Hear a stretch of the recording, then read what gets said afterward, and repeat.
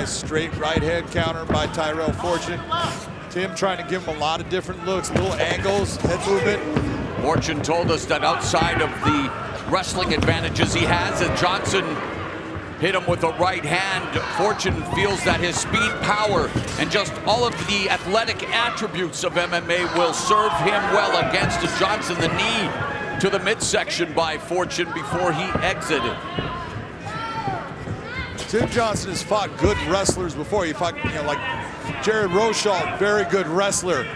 But Rosholt didn't have the hands that Tyrell Fortune has. He didn't have the ability to stand up and hurt you at the same level. And it's the knees that you'll see Tyrell Fortune throw at times, especially the knees to the body, that make big dividends down as that fight goes into the later rounds. Johnson surviving the uh, shot below the equator. Lead right hand by Fortune connects. Another right hand. Oh, but Johnson just clocked Fortune. Fortune favors the bold, and Johnson has knocked Tyrell Fortune out cold. Mamma mia! Huge win for Tim Johnson. That is big.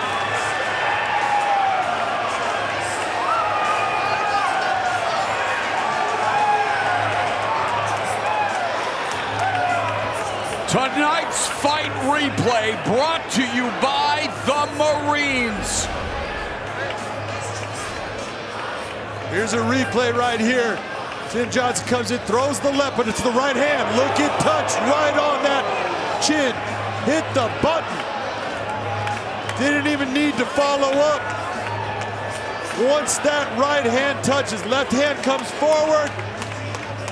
Both throw the right hand, but it's Tim Johnson's that finds the mark. And you can see Tyrell Fortune is out going down.